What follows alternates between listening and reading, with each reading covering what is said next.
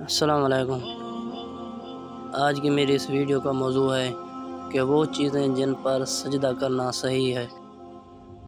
سجدہ زمین پر اور ان چیزوں پر کرنا ضروری ہے کہ جو کھائی اور پہنی نہ جاتی ہوں۔ اور زمین سے اگتی ہوں، مثلا لکڑی اور درختوں کے پتوں پر سجدہ کرنا چاہیے۔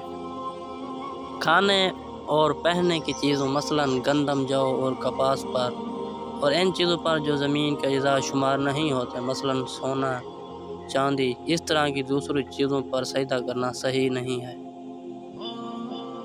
جو چیزیں زمین سے اگتی ہیں اور حیوانات کی خوراک ہے مثلا گھاس بھوسا ان پر سجدہ کرنا صحیح ہے۔ جن پھولوں کو کھایا نہیں جاتا، ان پر سجدہ کرنا صحیح ہے۔ سجدے کے لیے خاک شفا سب چیزوں سے بہتر ہے۔ اس کے بعد مٹی۔ مٹی کے بعد پتھر اور پتھر کے بعد گھاس ہے۔ کیچڑ پر اور ایسی نرم مٹی پر جس پر پیشانی سکون سے نہ ٹکے، اس پر سجدہ کرنا باطل ہے۔